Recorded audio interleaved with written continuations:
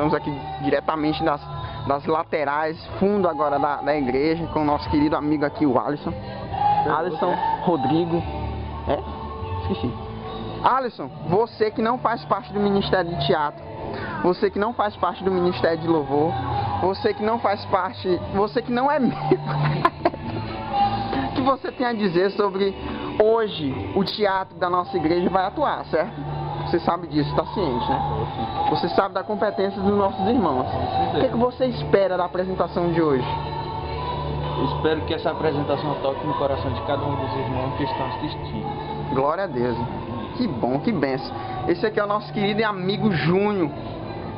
Antigo Restart. Mas ele, ele pode ser chamado de Justin Bieber também. Não fuja não, Dom. Você é o próximo. Aí, eu, eu entrevisto lá, não se preocupe. E aí, você que pelo menos faz parte do Ministério de Louvor, pelo menos fazia, que nunca mais você tocou. O que é que você espera da apresentação de hoje do teatro? Mas olha pra cá, cara. A entrevista é mais ou menos eu, câmera, você.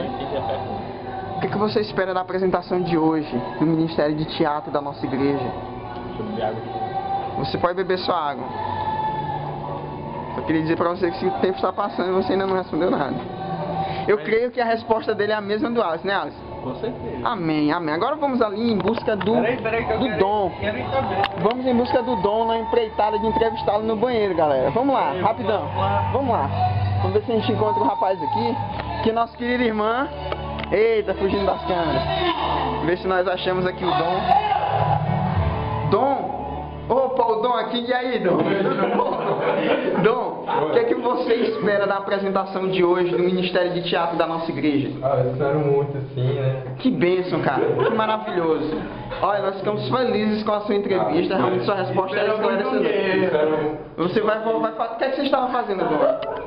Vai puxar a descarga, é isso? Tudo bem, Dom. Gente, é isso aí, ó. Nós esperamos que essa apresentação de hoje seja uma apresentação abençoada, venha transmitir realmente a palavra de Deus através da encenação que vai ser apresentada hoje. Amém. Amém.